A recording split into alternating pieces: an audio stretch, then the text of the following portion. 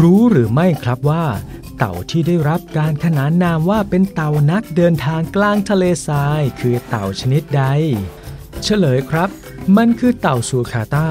ที่เจ้าเต่าซูคาตานะครับ ได้รับการขนานนามแบบนี้ ก็เพราะว่ามันสามารถเดินได้ไกลถึง 25 กิโลเมตรต่อวันเลยทีเดียว เนื่องจากกลางทะเลทราย กว่าจะหาพืชมากินได้ ต้องเดินเหนื่อยเลยทีเดียวครับ ซึ่งเจ้าเต่าซูลคาต้าจะพบได้แถวบริเวณทะเลทรายซาฮารา เซเนกัลมอริเตเนีย ทางตะวันออกของมาลี ไนเจอร์ ชาดซูดาน เอธิโอเปีย หรือตามทะเลแดงในเอริเทรีย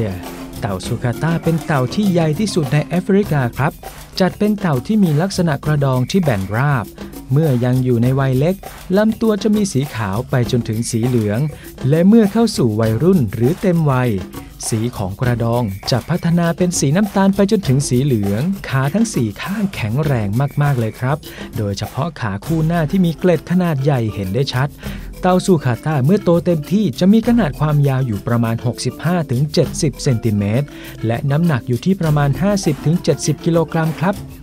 จะเริ่มผสมพันธุ์ก็เมื่ออายุประมาณ 6-7 ปีครับ จะสืบพันธุ์ในช่วงปลายฝนต้นหนาว การวางไข่ของแม่เต่า จะใช้ขาหลังขุดหลุม โดยจะทำการขุดหลาย ๆ หลุม ทั้งนี้ก็ทำไว้เพื่อหลอกสัตว์กินเนื้อ ที่จะแอบมาขโมยกินไข่นั่นเองครับ และก็จะวางไข่ประมาณครั้งละ 20-30 ฟอง โดยใช้ระยะเวลาในการฟักไข่ประมาณ 90 วันครับผม